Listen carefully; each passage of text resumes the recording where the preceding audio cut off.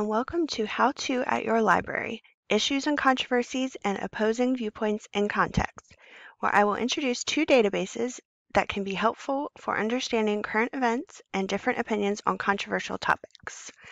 These databases are useful to students and individuals seeking balanced coverage of hot topics and issues, as well as teachers who want to demonstrate how to fairly cover both sides of an argument. You can access these databases when visiting the library and from home. If you are accessing it from home, you will be prompted to enter your 10-digit Fauquier library card number. So first we'll show how to get there. We're starting on the library website, which is fauquierlibrary.org. We're going to go to the Research tab. And we'll scroll down. And you can find these two databases in a couple different places.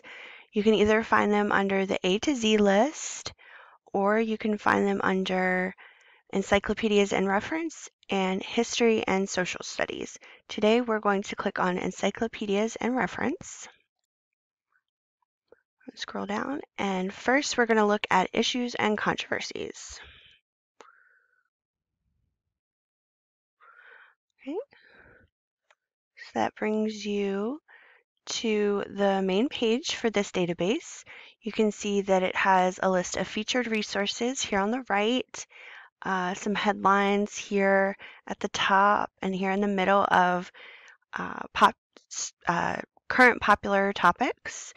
If you scroll down, there's some popular issues here and all issues by subject. So those are listed here. If you scroll back to the top, uh, you can do a search if you're looking for something specific.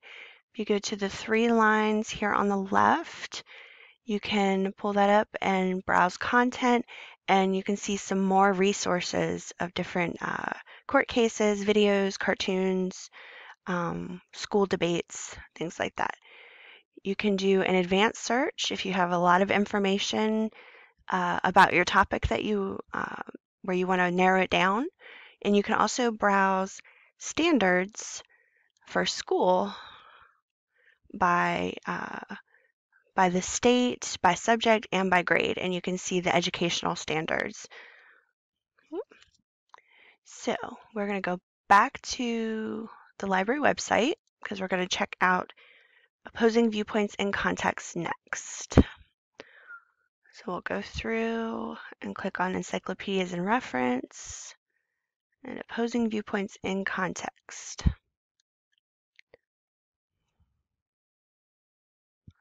Right. Again, it brings you to the main page of this database. So both of these databases um, cover so-called hot topics, controversial topics, uh, political issues, all those things. Um, it's just a different format of each database. Um, they set up things a little differently and they might cover different uh, sources, different arguments. So it's uh, it's worth it to check out both. So this one here has uh, have issues of interest here at the top, and you can use the arrows to scroll through those. And you can scroll down and see issues by topic um, and a couple. Uh, you have the topic and then a couple that are uh, the pop more popular issues under those topics. You can click here to browse all the issues. Uh, on this one, they also have curriculum standards for, um, for schooling, and there's some educator resources for teachers and students. So here they have the search bar if you have a specific topic you're searching for. There's advanced search.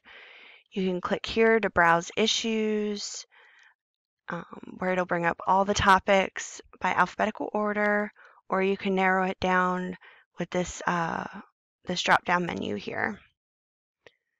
So there's a lot of topics covered in both of these databases. So we'll go back to the website. Right. Thank you for joining me on this tour of issues and controversies and opposing viewpoints in context. If you have any questions or need assistance, please visit the reference desk at your local library branch. Don't have a library card? You can apply online or stop by your nearest Fauquier Public Library location.